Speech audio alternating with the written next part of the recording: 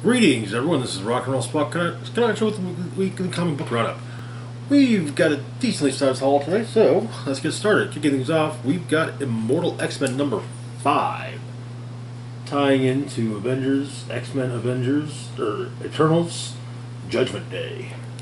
Now, this is, to be perfectly honest, this is kind of the uh, issue I've been waiting for because uh, when it, when, well, at least when it became clear that uh, Immortal X Men was going to issue each issue, at, at least presumably the first 12 issues, would focus on a member of the Quiet Council. That said, Exodus is, uh, I don't want to necessarily, say favorite character, but it's a character I, I do enjoy, and um, his uh, his first appearance was one of the first comics I ever bought. And, um, well, after 1993, he really hasn't done anything huge. He's just been kind of there. They always say, "Oh, he's he's so powerful." And, well, yeah. Anyway, so in uh, Judgment Day number one, the Eternals launched their attack. Um, their primary targets were the five. Um, Egg was killed, and Jack of Knives, the Eternal's assassin, was stopped from killing Hope by um, Wolverine. So we get a lot, we get some uh, background on uh, on Exodus, namely when he how how he came to first meet Apocalypse uh, during the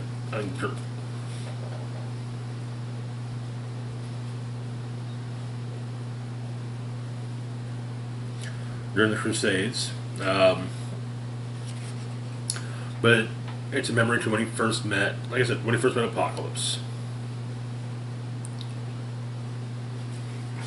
Um, through a desert, and he saw a vision of, of a phoenix.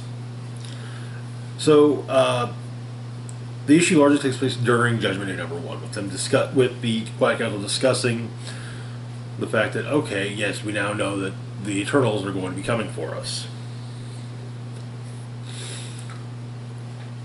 Um, the suggestion is made to uh,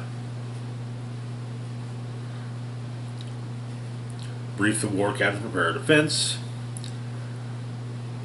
Emma stating that Scott will have plans, he always does. But uh, Shaw explains that uh, offense is what's needed rather than defense.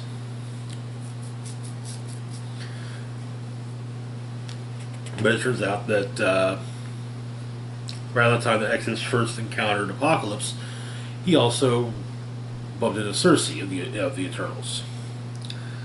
While they're debating everything, however, um, the psychic attack occurs. Uh, turns out that when Exodus first met Apocalypse, Apocalypse asked him, you know, kind of prove yourself, and you know, to do so, he was to uh, kill uh, a, a, human, a long-standing friend of his.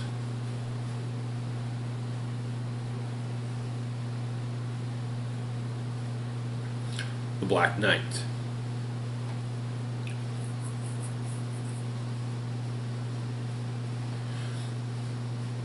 But he refused and uh, turned from Apocalypse and went on about his well. But um, but he reflects on his past. Um, after turning on Apocalypse, he was placed in stasis, and Magneto found him. And he fought alongside Magneto, but, uh, well, Magneto was lost him time and, time and time over, all too flawed and not a messiah, he states. That meant the messiah was ahead of him. But, uh,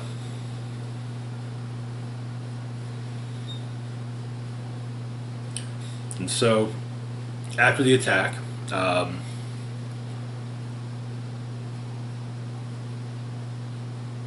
Hope, Emma, and Exodus join together psychically to go after the, the Unimind.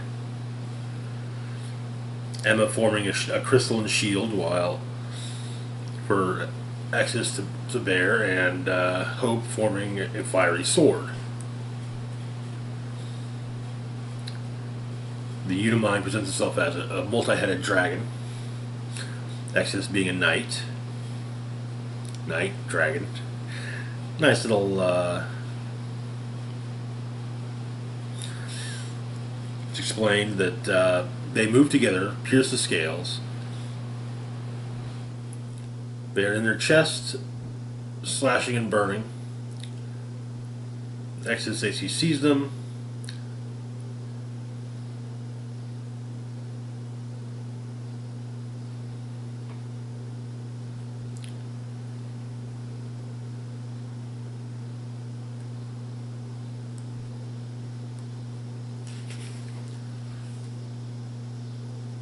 and he uh, but he managed to defeat them. But he managed, the Unimind is defeated. Um, there's further talk of Exodus's past. They after um,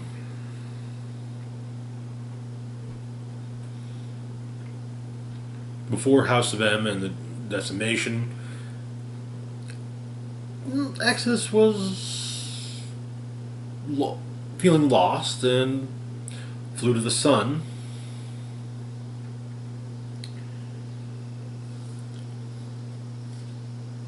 Or no, actually, no, it was after this mission. Apparently, uh, after the, the birth of Hope, however, he was when he returned to Earth. But uh, after the fight with the Unimind,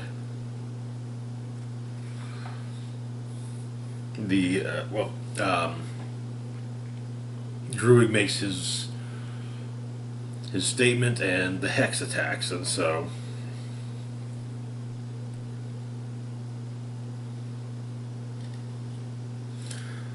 what Exodus once again goes to fight the dragons. And it looks, and from the last page, it looks like he he's gonna do, he, he will uh, he's gonna do some work. That is where the issue ends. Apparently, our next issue, I think, we'll be focusing on yes, Sebastian Shaw. Uh, this was, like I said, this was the issue I was kind of this is an issue I've kind of been waiting for.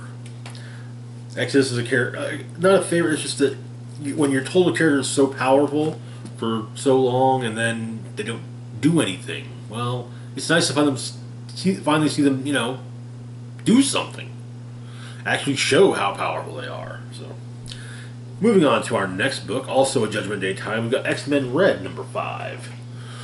So, also in Judgment Day, Judgment Day number one,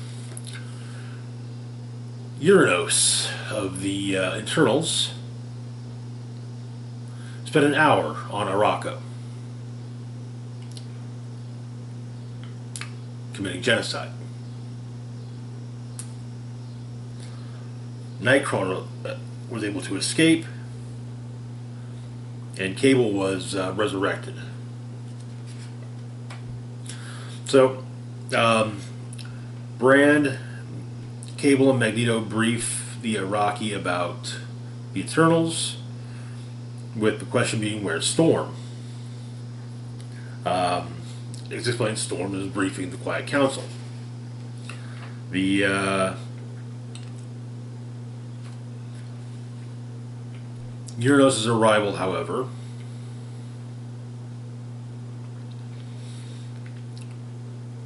is heralded by the betrayal of Isca the Unbeaten. Keep in mind that with Isca's mutant power, the ability to never lose, well,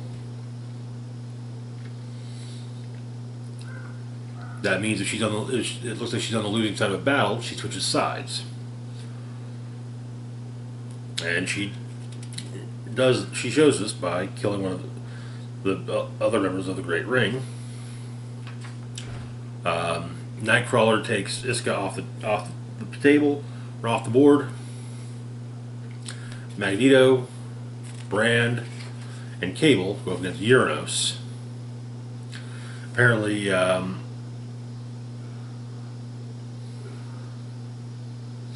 Uranos has uh, armories on Arakko. But um, the ships in his armories attack. Um, the various various elements of his, of his armory, I should say, attack. Um,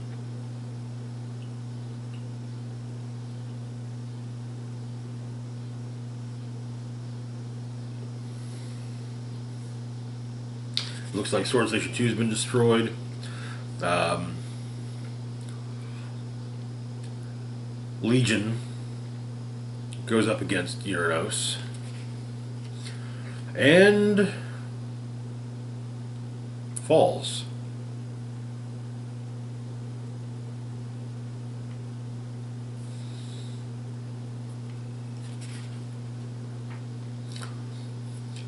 Nova does what he can to help uh, people evacuate Port, uh, Port Prometheus. Isca is kept occupied.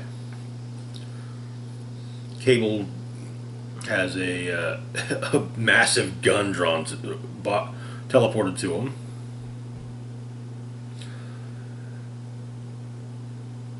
Uranos rips out Magneto's heart.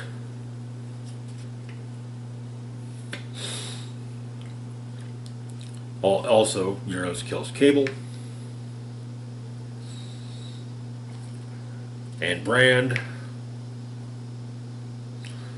After an hour, he leaves. One of the council members was uh, kept hidden in stasis, so to speak. Ora Serrata is not dead, but injured, badly injured. And somehow Magneto is still alive with a gaping hole in his chest.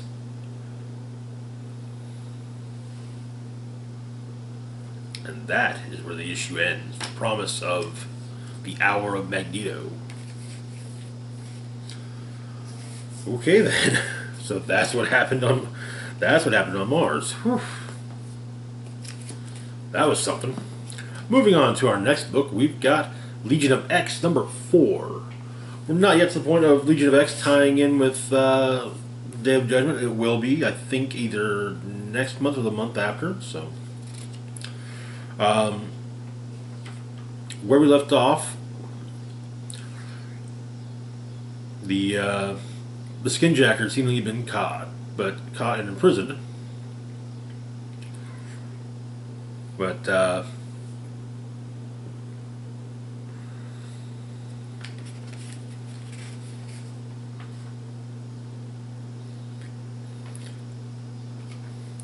one of the uh, prisoners, one of I don't want to say inmates or prisoners, but one of those within the altar who's working working through their uh, their trauma. Polly is killed by apparently a familiar face. The face is familiar to him, but we can't really see it. And the skinjacker is then freed. Um, on Krakoa, Weaponless Zen and uh, Nightcrawler uh, enjoyed each other immensely, apparently. Much of the issue is, uh, much of the narration is seems to be a previous conversation where they talk about them uh, having somewhat of a post postcoital debate. I guess. I mean, hey, you know, that's cool. You know. Um, but uh, she returns to uh, she returns to Arakko, and uh, on Krakoa, Juggernaut uh,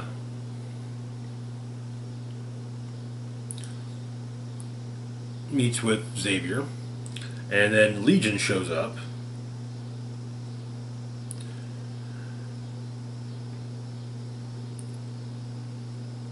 Apparently, he thinks there's a no place hidden where uh, hidden where they're at on Krakoa. Um, Xavier promptly turns uh, Juggernaut's mind off and says, "You know, there, there aren't. No, there's no way. There's a no place." And but then uh, Legion points out um, that one of Xavier's eyebrows is missing.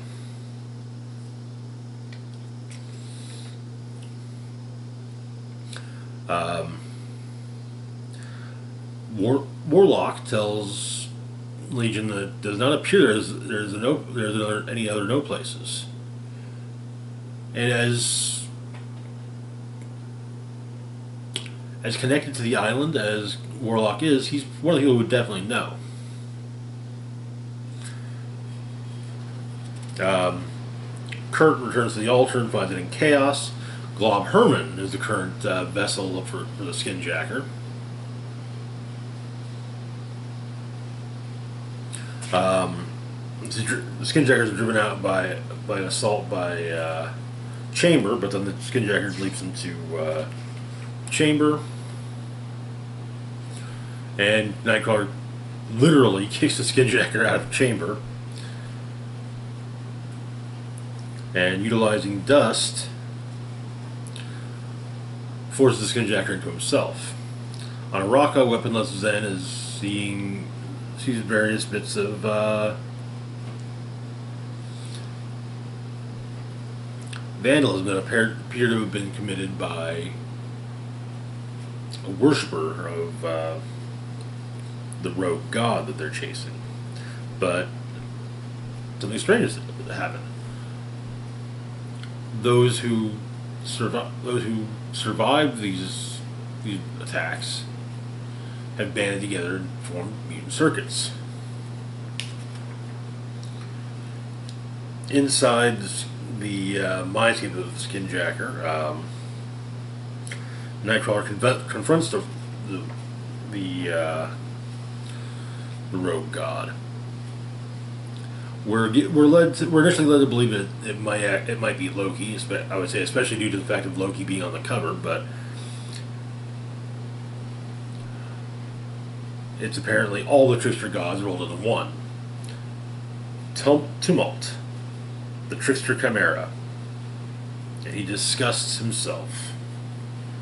But uh,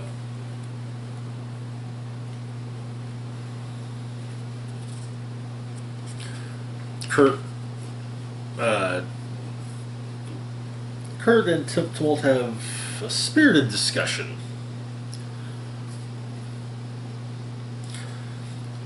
with Kurt suggesting to believe in, believe in himself and saying that perhaps he should try to do the same thing.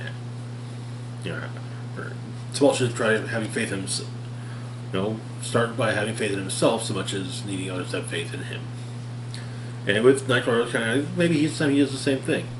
There's also a, a memo from uh, from Xavier to uh, Nightcrawler, wanting to wanting updates. Uh, on Kane's movements,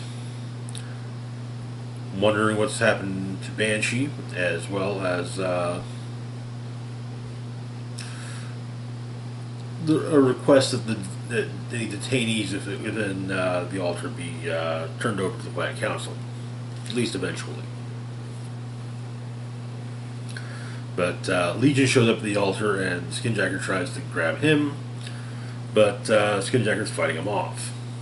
Meanwhile, um, Weaponless Zen has met, has returned to Ora or has finally reported gone to report to Ora. Only it's revealed, but to uh, Nightcrawler, Nightcrawler by Tumult that uh, Ora Serrata appears to be the worshipper of Tumult on Arakko. And that is where the issue ends.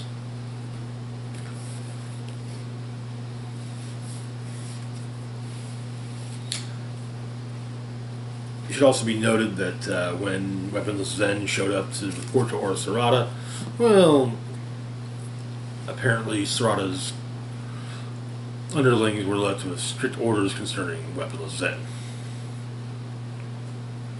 Moving on to our next book, we've got X Men '92, House of House of '92, number three.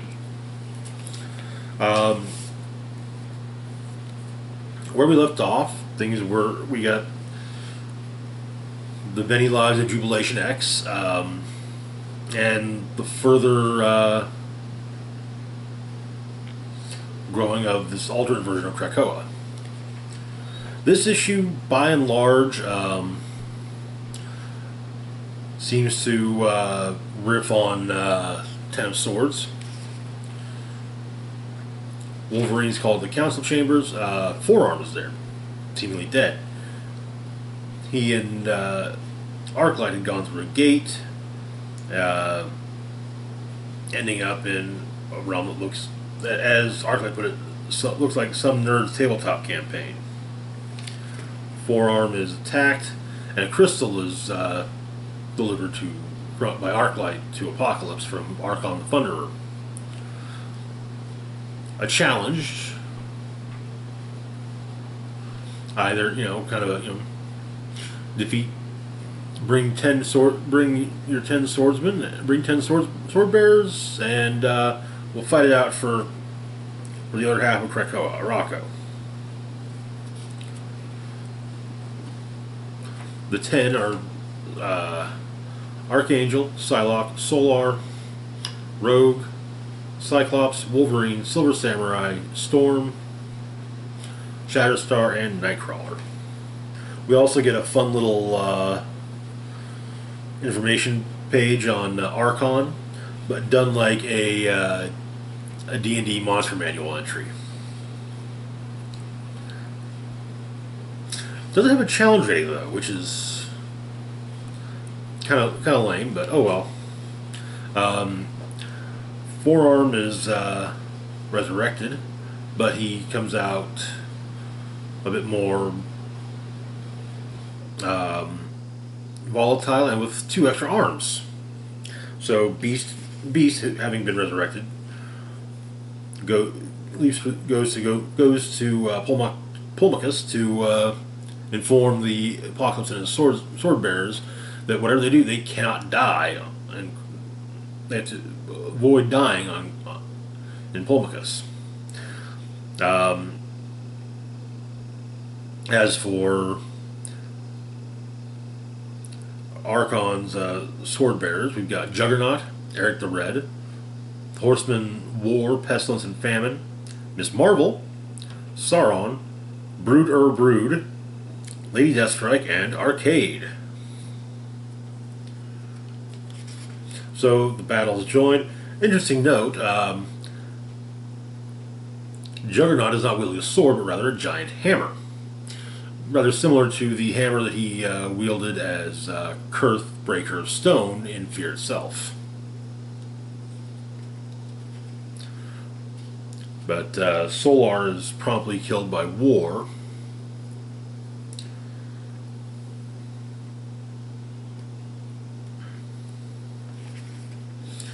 and Brood Ur Brood is revealed to be uh, basically a uh, a giant me- brood-shaped mech being controlled by Deadpool. The, the mech, however, falls on uh, Beast and Silver Samurai. Psylocke uh, jams her uh, psychic knife through Deadpool's head. Wolverine fights Deathstrike, and we get a and uh, we get we get our uh, we, we get the uh, the Elektra shot. For those unaware, the what I, what I refer to as the Elektra shot. Um, I don't remember the exact issue of Daredevil from the from Frank Miller's run, but uh, there was a fight between an iconic fight scene between Bullseye and Elektra it ends with Bullseye running Elektra through, and it's done almost the pose is it's exactly like that panel there. But uh, the big the the main event fight is Apocalypse versus Archon. However, before it can begin, Genesis, Apocalypse's wife, beheads Archon, takes his crown and gives it and places it on Apocalypse's head. Um, they they're going to rebuild Pulmachus and uh, Archangel opts to stay behind, mend things with with Apocalypse and the other three horsemen, and uh, the mutants of Arakko are going to be joining the mutants of Krakoa.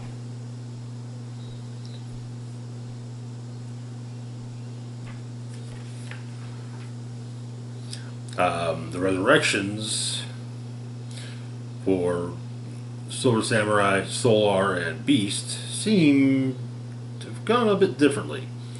Silver Samurai seems to be a gold samurai. Solar, who appears to, have, to be more nocturnal. And Beast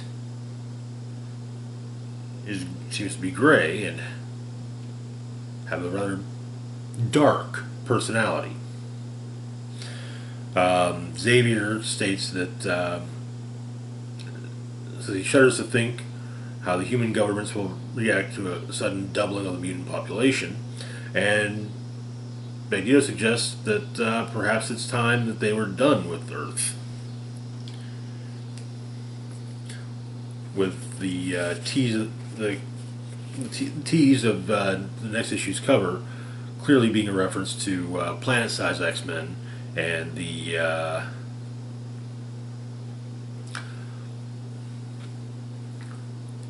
um, the taming of, of Arakko, or, or, well, the terraforming of Arakko, I should say. But that is where the issue ends. Was, it was a, I like the idea that uh, at this point they're kind of just riffing off of uh, other stories from within the the Krakoan Age. I'm digging it. Moving on to our next book, we've got uh, Magic the Gathering number 17, and as always, got the Hidden Planeswalker variant, So our this month being Zendikari, Elvish Zendikari, uh, Zendikari Elvish uh, Planeswalker Nissa Revane. Who sadly I don't think has even has yet appeared in the series at all, and that's a damn shame. Where we left off, um, Chandra, Garruk, Gabrielle Kane, and Niko had it had come up with a plan. Since Chandra and Garruk couldn't go, couldn't really go to uh, Ravnica because, well, their faces are plastered all over the, all over the plane. Niko could because he's not a well-known planeswalker. So apparently, now, where we start, Niko is claiming to have failed. Injuries being bound, presumably tea being prepared for him. But six six hours near nearly six and a half hours earlier. Um, he planeswalks to Ravnica. Uh, apparently, it was it was a bit of a shock to him. He'd been to cities, but never seen so much city. He was able to interact with he he had a bit of a guide in the form of Kaya's ghost form. But Kaya's ghost form only show up in his mirrors. Explained Tethered. This is that she's talking about ghost form. The Tethered. This was because of Tezzeret. Um, however, her ghost form isn't like it was when uh, Niko met her previously. No one could see her or hear her. She couldn't, and she couldn't touch anything.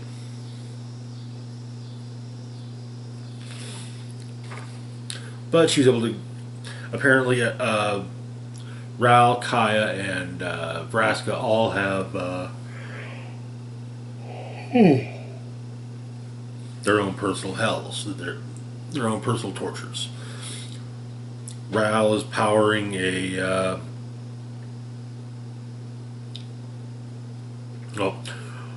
Ral was given a uh, a problem with one with one simple solution. His, his problem, the kept his captivity. No door on Ral's cell or no lock, and no guard to speak of. At any moment, Ral can simply release the, the contact points, stop channeling his lightning into whatever device Tezzeret wishes him to, and walk out the door.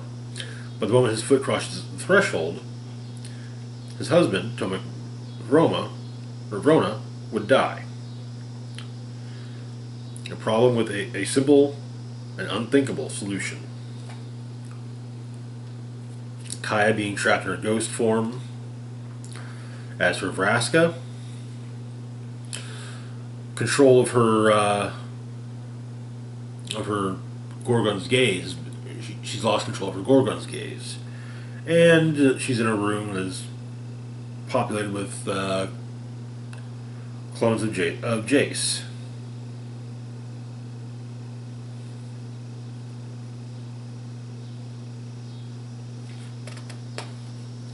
But uh, Niko continued searching for answers until he came upon Tezzeret. But apparently Tezzeret Tezzeret is finally the master of everything. He rules Ravnica. He's appropriated Simic Combine Biomancy, Orzhov Thrall Necromancy, and Izzet mad science to clone his most hated enemy, not just to torture his Golgari prisoner, but for the satisfaction of killing Jace again and again at his leisure. His enemies are racked and racked with delightfully appropriate tortures. None of this is enough for Tezzeret. He rules Ravnica, but not in his own name. Killing among his Jace clones has grown dull. Even the knowledge that Zarek heats his bathwater is not enough to sate, to him. Tezzeret's thirst for, for more power, ever more powers, has never been quenched. With his latest scheme, perhaps, it will be enough to satisfy him. A bid for the godhood of the Planeswalkers of old, correcting the flaws of his former master's plan. But, uh, get a bit of a, a duel between uh, Niko and uh, Tezzeret.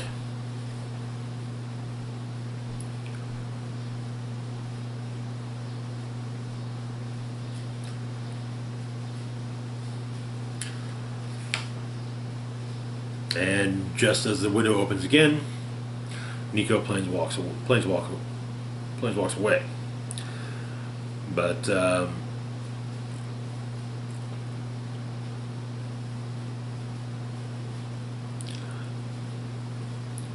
the the whole plan was for Niko to get uh, gather intelligence, not to engage with not to engage with Tezzeret. But Chandra and uh, both say that you know if they had been the one to go, they would have taken the shot too.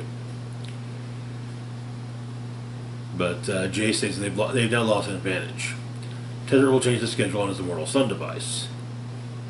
But uh, Gabriel Kane makes it adds another wrinkle. So, for, but first, is there's one more option in the near future. Tezzeret isn't stupid. He'll know he's been betrayed. He'll be dispatching an assassin to kill Dariel shortly. He dislikes being bait, so they may as well make it count. And he insists that uh, the planeswalkers dress for the occasion. And that is where the issue ends. Things are getting interesting. Um, I, I, gotta say, the uh, the tortures of our previous protagonist, whew, oh, that's uh,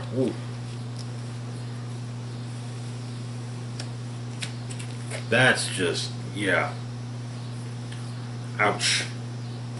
Anyway, moving on to our last one for the moment, we've got Dark Crisis number three.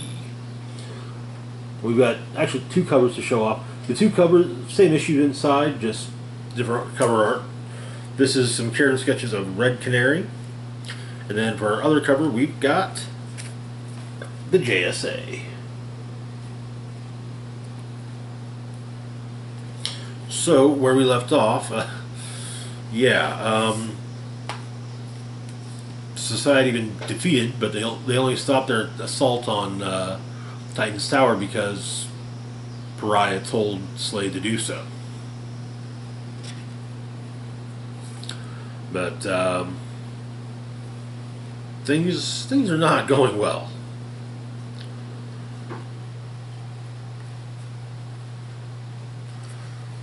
Apparently, some are hanging up their capes, others want to be with family and friends.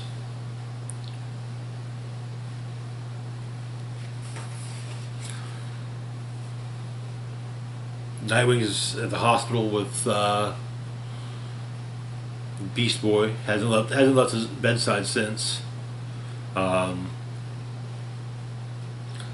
there's flowers from the Doom Patrol. Mr. Terrific said that uh, Beast Boy will live, but uh, they think that the trauma from the attack did more damage than the bullet did.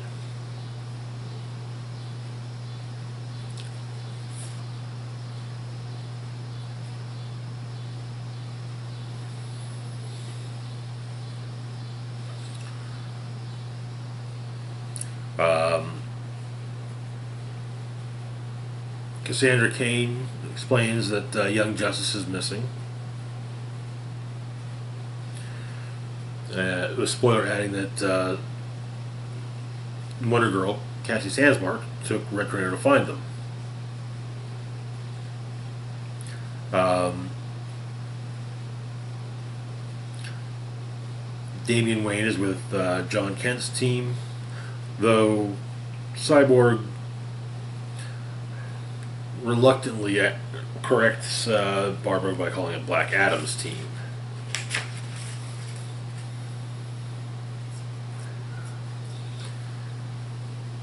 And uh,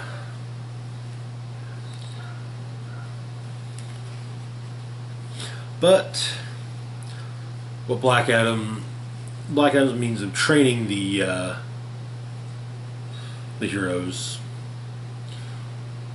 he he wants he, he think believes they should be that there's that line that they that most of them say they'll never cross. That well maybe it's time they did. And Damian agrees.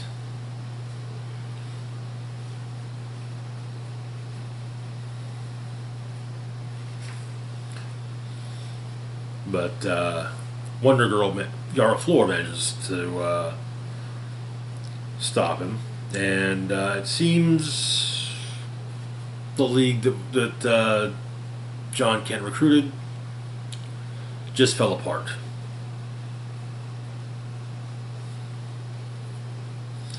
And uh, Jon and Damian have a bit of a falling out.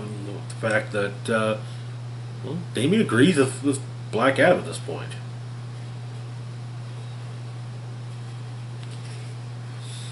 But uh, the JSA shows up with Green Lantern stating that if there's no Justice League, how about a society?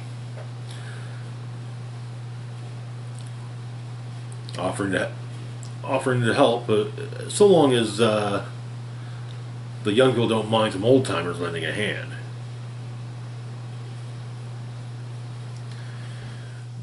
Apparently, Wildcat thinks that Jon should have come to them from the from the get go. Um, at Deathstroke's HQ, his uh, society's brought someone who uh, was try- they found trying to sneak in. Ravager.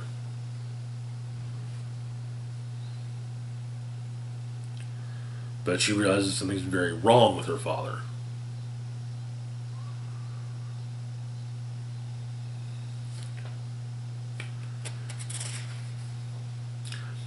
And as the other members of the society uh, go to stop the attack, Ravager's attack, they too become infected with the darkness.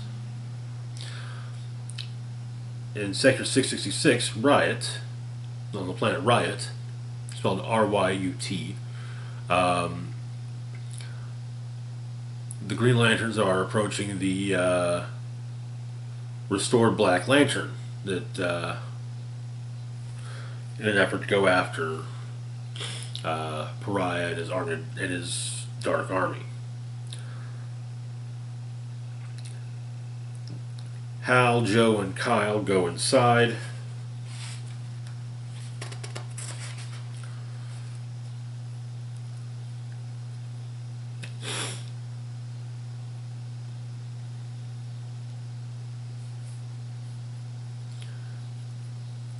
Um,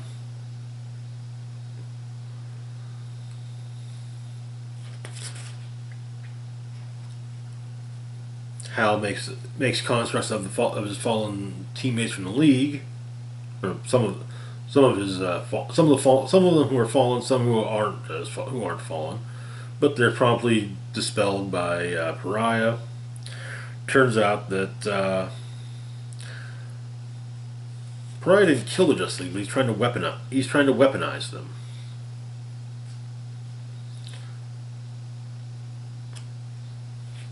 Kyle goes in, Hal goes into one, but uh, it turns out that uh, the one he's in is apparently Sector John Stewart. Elsewhere, back on Earth,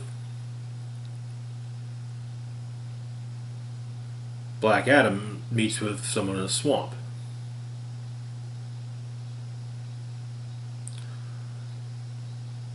Saying that the heroes left behind, they don't understand. They didn't see what he saw. And Adam says that he thought he could push the young heroes to do what needed to be done. They're too concerned with hope, and well, Adam, Black Adam believes that it's time for Doom. And we find out that he's been meeting the person he came, well, the persons he came to meet are none other than the Legion of Doom, which now counts Punchline among its number. But that is where the issue ends, promising that next issue will be Deathstroke versus the Legion of Doom. Dark Crisis is getting in. I, I, I kind of like the idea of uh, apparently Pariah trying to weaponize, weapon, basically turn the, the Justice League into weapons. That's an interesting concept, let's, I'll, we'll definitely see how it plays out. But uh, anyway, that is going to do it for now. As always, feel free to like, share, and subscribe. Links to my Facebook, Twitter, Patreon, and PayPal can be found in the description box down below. This is Rock and Roll Spock signing off saying, live long and rock hard.